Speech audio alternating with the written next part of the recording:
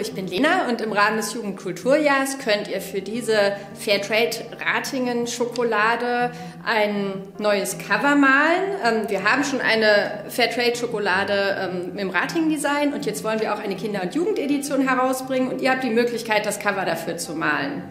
Es gibt einen Malwettbewerb und alle eingesendeten Bilder werden ähm, im Rahmen des ähm, Festes zum Weltkindertag im September auch ausgestellt. Und die Gewinner werden dann tatsächlich auf die Schokolade gedruckt und dann werdet ihr eure Schokolade auch im Touristinformationszentrum finden. Also macht mit!